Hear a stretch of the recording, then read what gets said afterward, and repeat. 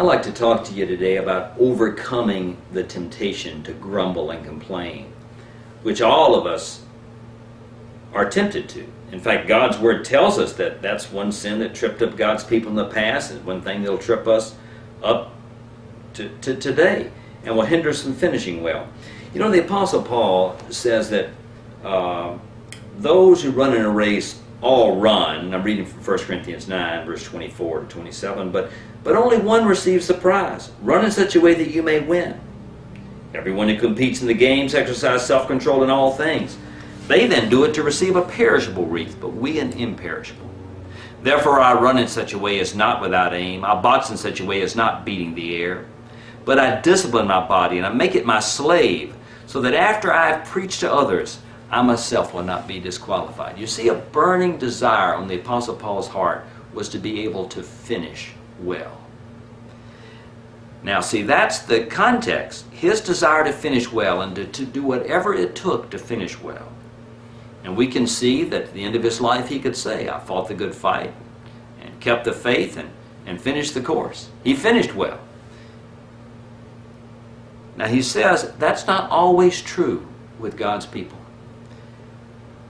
1 Corinthians 10.1, far. That's the reason, look, I want to go to any extreme to finish well, because I want to, don't want you to be unaware, brethren, that our fathers, that God's people in the past, they were all under the cloud. That is, they what? They experienced that supernatural guidance that you see there in the book of Exodus. That's what he means by the cloud. They all passed through the sea. They experienced that supernatural deliverance. They were all baptized into Moses. They had that godly leader in the cloud and in the sea. And they all ate the same spiritual food and they all drank the same spiritual drink. That is, they had supernatural provision. So you see, they had the guidance and the deliverance and the leader and the provision of God. But yet, what we read is this verse 5 Nevertheless, with most of them, God was not well pleased, for they were laid low in the wilderness. They did not go into the promised land, they did not experience all that God had for them.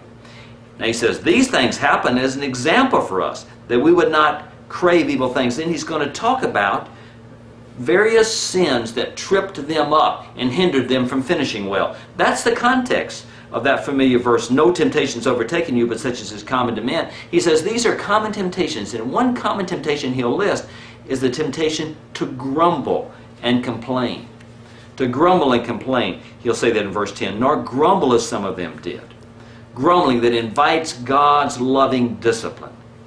You see, when I'm grumbling, I have forgotten God's past goodness in my life. I've forgotten that everything I ever receive in life other than judgment is due to the grace of God. I'm not concentrating on His present goodness in my life at that moment, and I'm not anticipating His future goodness. Now, you see, the answer is not just to oh, I'm not going to grumble outwardly, but I'll just grumble, grumble inwardly, and that doesn't solve anything.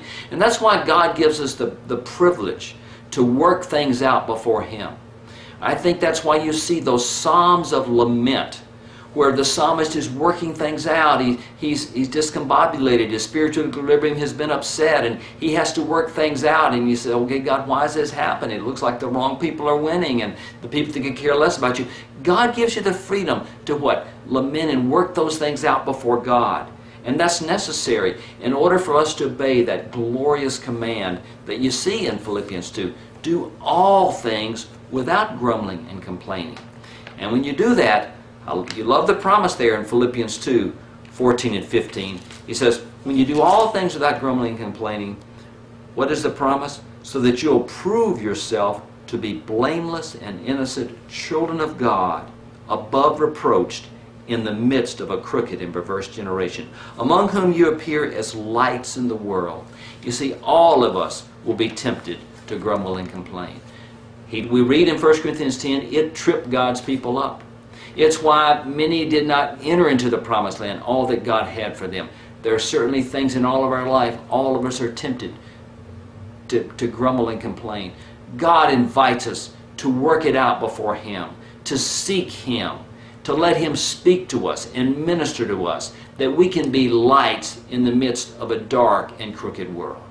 Lord, would you help each one of us, Lord, even to recognize our temptation uh, to grumble and complain. We thank you that it's not a sin to be tempted. And we'll be tempted as long as we live in this body. But God, would you break through with the insight we need, with the help we need, with the support we need, to Lord, show us a different way. Show us a better way. We pray this in Jesus' name. Amen.